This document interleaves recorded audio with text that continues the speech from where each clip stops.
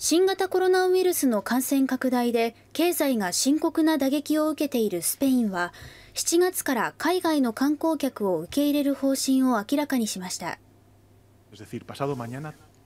スペインでは3月から事実上の国境封鎖など移動を制限する措置が続いていますがサンチェス首相は23日